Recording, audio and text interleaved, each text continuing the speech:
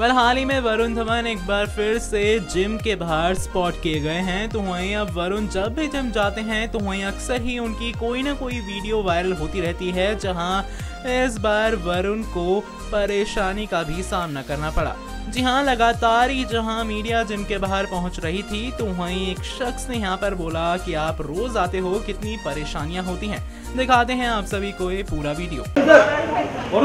हो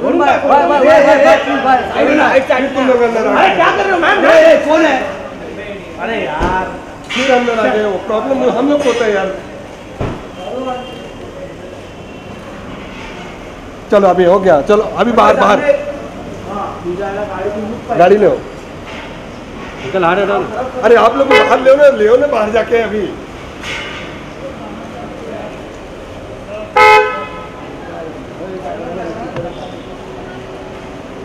side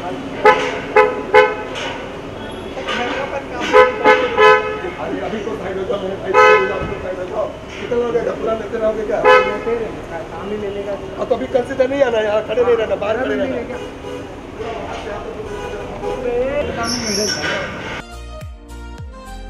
next nine news report Subscribe and press the bell icon for latest update.